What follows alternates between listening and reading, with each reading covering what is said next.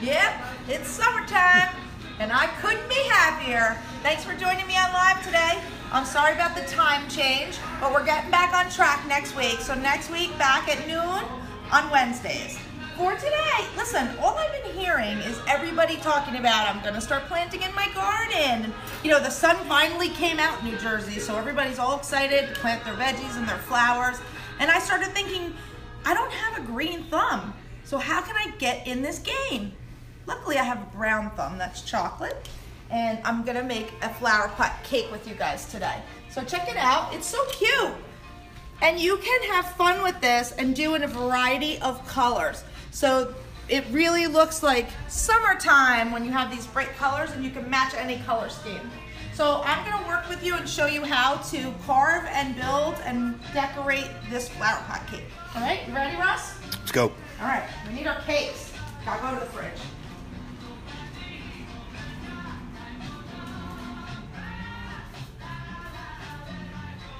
I'm starting this cake with three seven-inch chocolate rounds. I keep them chilled till the very last minute because I want them to be a little bit easier to work with and less crummy.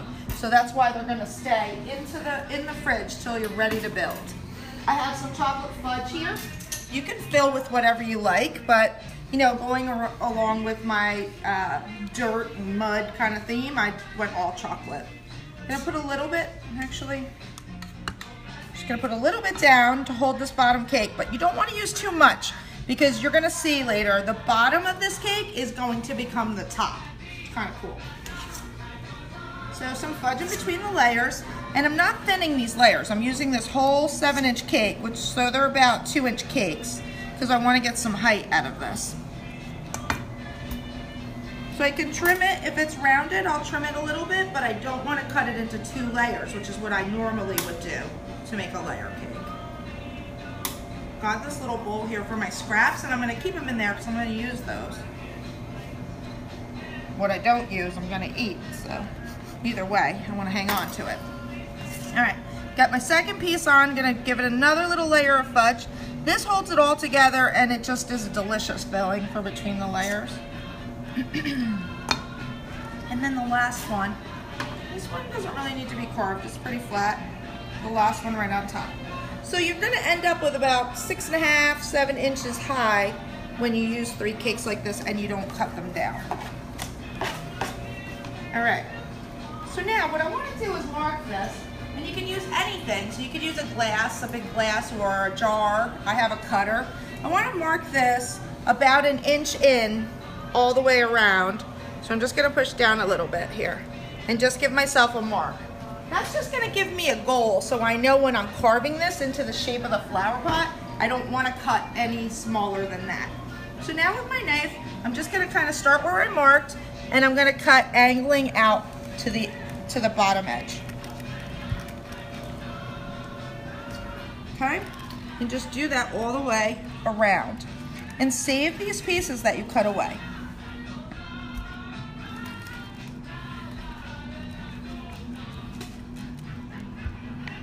So you want it to kind of form a cone shape where it gets wider as it goes down to the bottom.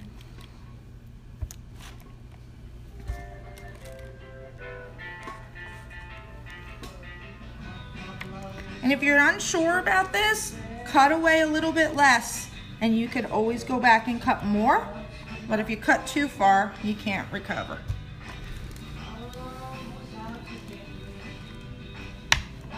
Okay, so there we go. Now I'm gonna just take my knife and kind of cut off these pointy parts that I got where I cut. Sort of round those down a little bit, shave that away.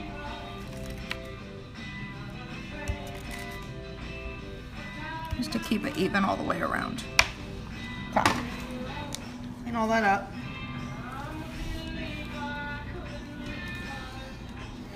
All right. And I'm gonna put some icing. On the outside of this, but not a lot. Just a small, small, thin coat. Just to give something for the fondant to stick to. So just a crumb coat.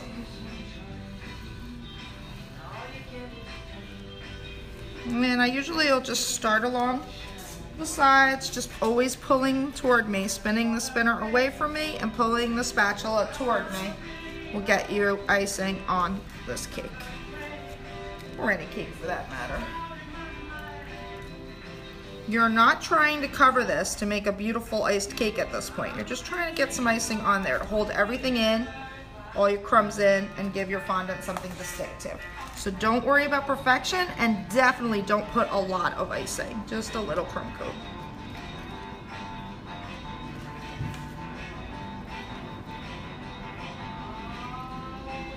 So I was playing with this yesterday and I was at this point saying to everybody in my kitchen, what is it? What do you think it is? And it was a volcano. That was one guess. That was actually a pretty good guess. A cone head. I don't know. I heard a lot of silly things. But nobody guessed where I was going with this because it's upside down.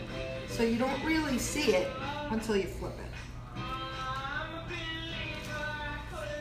It's kind of fun. I like that. That, that aspect of it. All right, so I got her covered. Just gonna get rid of some of the crumbs and just get those off there for you. Okay, so now we're gonna have some fondant ready to work with. I'm using blue for this one just because I wanted it to contrast with the yellow one. I think it'll look cool when I put them next to each other to have two different colors.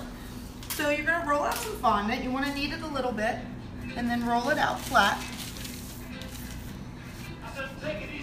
I'll start with this little piece of blue. I wanna get my hands clean so I don't get any chocolate on it. That goes in my rolling pin too. And I'm just gonna roll this out. I started it so you wouldn't have to watch me roll the whole thing. And just get a nice flat piece there about the size of the bottom of this cake. I used the fondant container to measure. It looks like it's about the same size as that. So that's what I'm gonna use to measure this. Use that, and I'm gonna cut with my cutter all the way around to make a circle.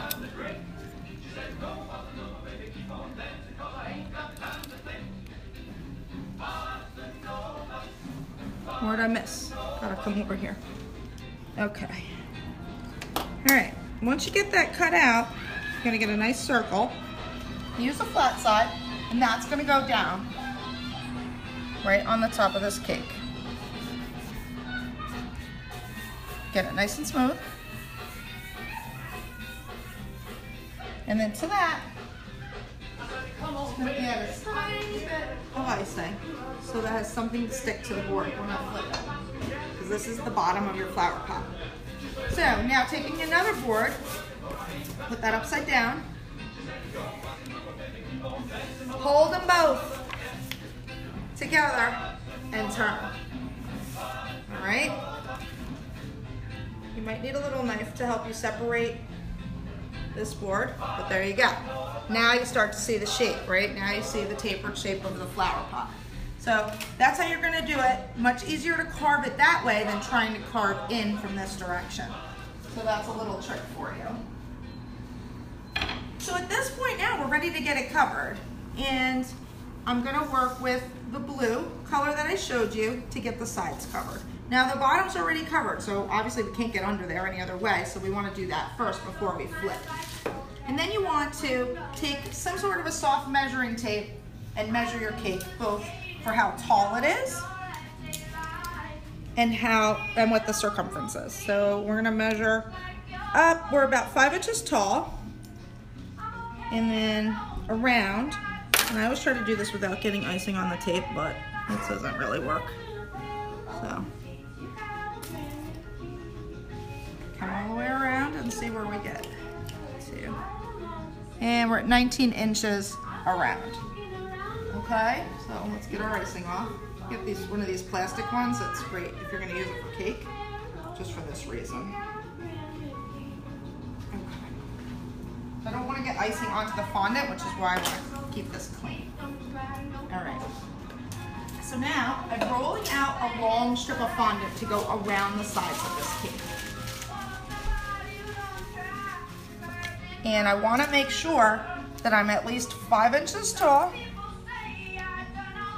So you see we have plenty of space here. And 19 inches long. Might seem like a drag to measure. It's not, trust me, you need to measure. If you put this fondant on here and then go, oh, it's too short, you can't use it. It goes right in the trash because it's got this chocolate icing all on the back of it, so there's nothing you can do with it. So measure. I'm really telling myself that because I'm not really a measurer typically, but I have to force myself. Okay.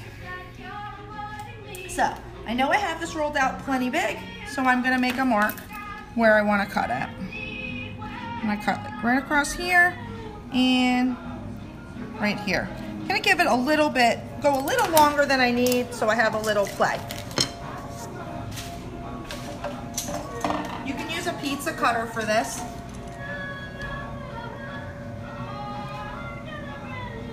If you don't have a fondant cutter like this. You can also use a ruler if that helps you to stay straight. I have a fairly steady hand, so I'm just gonna cut.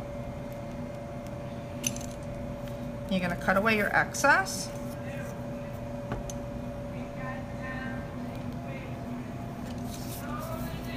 And keep hang on to that because we're gonna use it.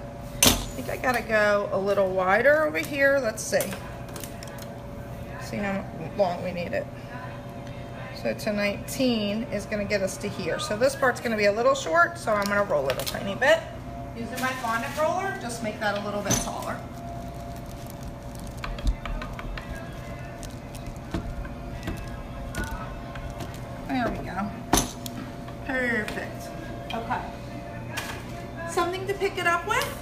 Always helpful. And where did we go? 19 inches long. We can cut a little bit off in the end because we don't. You don't really want to carry too much more of this than you need because it's tricky to to pick up. I'll cut a little bit off the edge and also give me a nice straight edge to work with. I'm going to use the stick to to lift it. If you have a partner, a helper in the kitchen, that will work too. Russ can't help me. He's holding the camera. Sorry. Can't help me, Russ. He helps me eat it after, though. Don't worry. That's true. Okay. I'm going to use that to lift it and just give myself a little assistance. And I'm just going to start by placing the straight edge of the fondant anywhere, anywhere against this cake, even to the bottom. So it's okay if I'm a little long, okay, a little tall. I just want to, I don't want to be short, so I'm going to come right to the bottom. And I'm just to unroll as I slowly pull around and smoothing it to the cake as I go.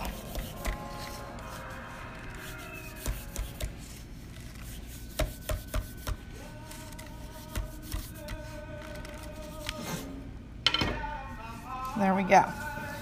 And that's the trick. You don't want to come up short. You want to come a little bit over. You want to overlap a little bit.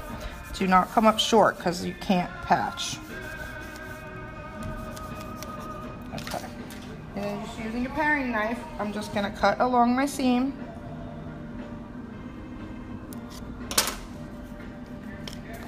Oops, sorry. Sorry there, Russ. Just gonna seam this together.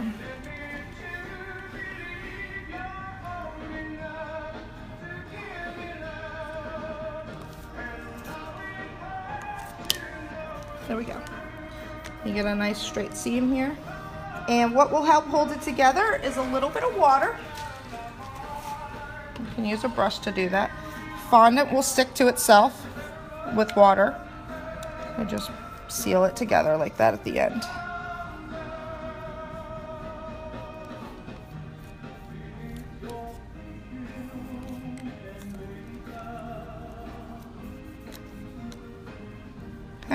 Work on that seam for just a minute to get it to seal. Now you just spin around and you're going to work this cake to make sure that it gets nice and smooth.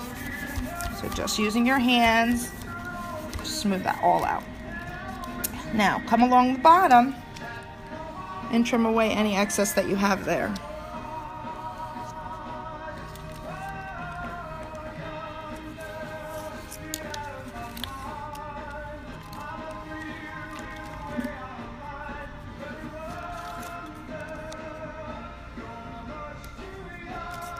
Stay real tight to the bottom. Okay, there you go. You get a nice finish there. Now we can fold this in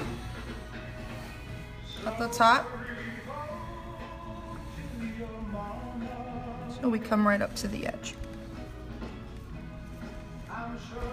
And what we need is, on all planters, they have that little lip that comes across the top. So we need a piece of fondant for that. So we're gonna go back to rolling. I have one that's long enough. Because remember, we're gonna need that 19 inches again to come across the top. Are you staying with me, Russ? All here, babe. You got it, right? You're gonna do one of these when you go home All tonight? in, for sure. All right. Russ is getting to be quite the little baker. Yes.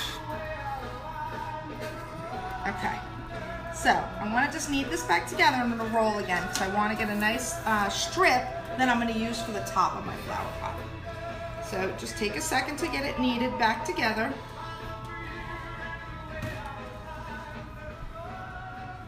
Get it nice and smooth, and then roll it out.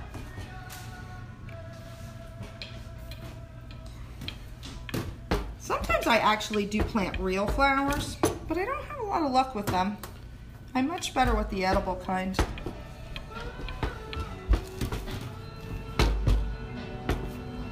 Silk. I can keep silk flowers alive forever. It's crazy. Silk thumb. Silk thumb.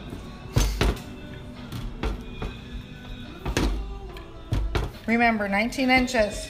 Doesn't sound like a lot, but when you're rolling fondant, it's like, is it there yet? A little confectioner sugar will work for you if it's sticking. Let's see where we're at. Let's measure. We measure and we silently pray. Nope, not yet. Do you think it was there? I thought it might have been.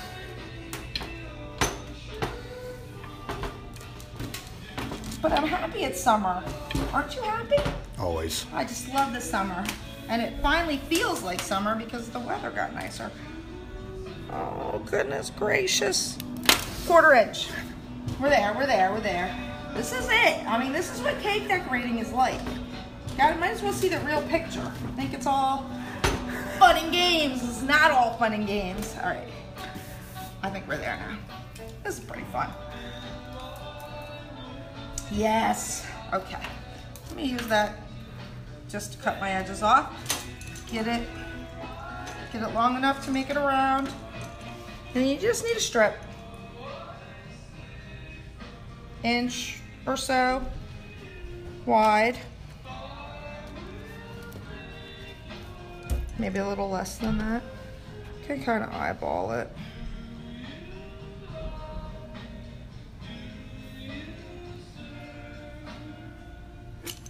Hmm, got a little wider as we went. Let me just trim that down. There we go. Perfect.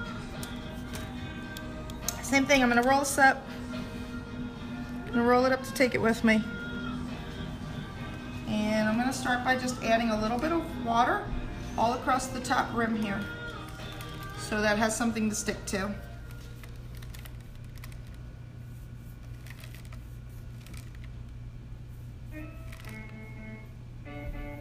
Okay.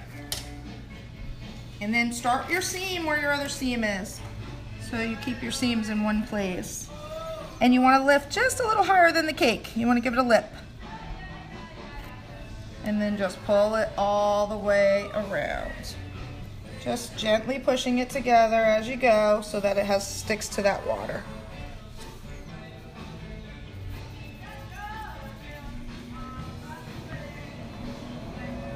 Remember how to seal it. A little water to glue it together. And just cut it with your paring knife.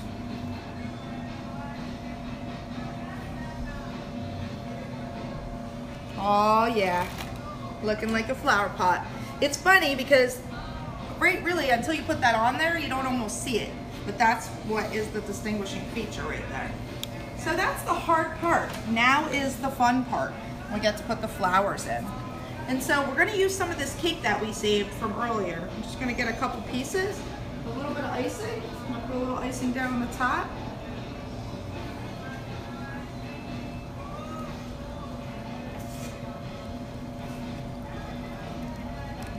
I don't want to go all the way out with this. Just kind of get it in the middle. And then some of these pieces that we saved, that's going to give us a little height for our flowers so that our flowers are not, you know, low down to the pot. They raise up a little bit, give it some definition. Okay, that's probably good enough. The rest is for snacks. You're welcome. Okay, now we need some dirt. So I got cookie crumbs. You can grind up some Oreos in your food processor or just use Cookie Crunch. That's what I have here. And I'm just gonna, you have that little lip. That's gonna hold it in place. Just gonna pour those down on there. So you need dirt in your flowers. And this is about the best tasting dirt you'll find. I like to have a little pile that kind of spilled out, like you're not the neatest. Um, you might not be the neatest planter, gardener around. So you might have a little bit that spilled out. Let's see where we want to put that. Maybe right here, get a little space. A little icing there and a little bit of crumbs. Get your dirt pile there. So cute. Okay. And now for the flowers. So any color that you want. I use this coral color just because it looks so summery to me and it's really pretty both with the yellow and with the blue. This is a Russian rose tip, a Russian flower tip. You, you guys, um, if you haven't seen these before, these are great. They come in all different styles and they're really easy to pipe flowers with. So this one's the tulip and basically all you're gonna do is you're gonna, while pushing down, squeeze, let go and pull up and you get a tulip. How cool is that? Right? So now, just gonna put them all around, covering up that little mound that you made in the middle. Also, when you get down to your dirt, you, it may not stick real easily to these cookie crumbs, so you wanna, you're gonna always try to stick to something else, like this piece of icing or this cake, or the other flowers, so it doesn't lift up.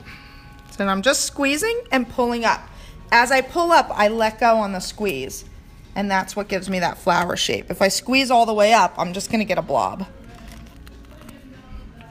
And you can come up as, to, whoops, see what I mean? If it just sticks to that, it's just gonna lift. So you wanna attach to another flower so it has something to grab onto. And put some small ones around. I wanna leave a little dirt showing. That's part of the fun of it. So you don't wanna come all the way to the edge all the way around.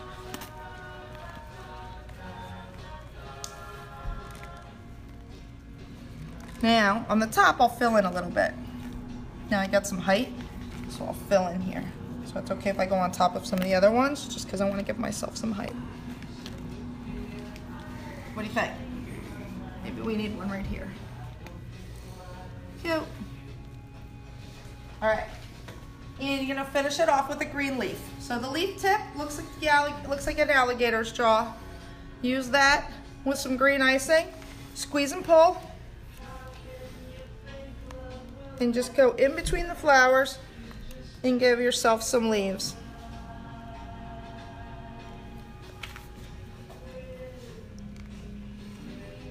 Squeeze and pull.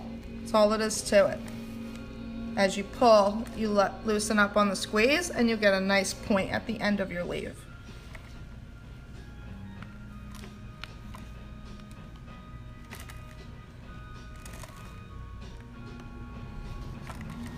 Crazy with the leaves, so control yourself. At some point, enough is enough. You gotta kind of, I like to step back, step back and look. Make sure it looks the way you want it. Can give it a couple more leaves over here. Maybe one that kind of hangs over the edge of the pot, which is cute. Like that. There you go. There you have it. I mean, it's a little bit of work, but it's worth it. This flower pot cake is so cute, it's stunning. If you put these out in a garden party or um, you know, even a barbecue, it's so fun and you can do them in a bunch of different colors and different flavors. So have fun with this. Get these Russian rose tips. They're fun to play with. They have a bunch of different shapes. And make them, make them look all different. You know, do different colors. You don't have to use one color throughout the whole pot. Have fun with it. That's the main thing I want you to take away from this today. Thank you for joining me on live on this weird date and time, but we got it in. So there. Next week we will be back on on Wednesday at noon.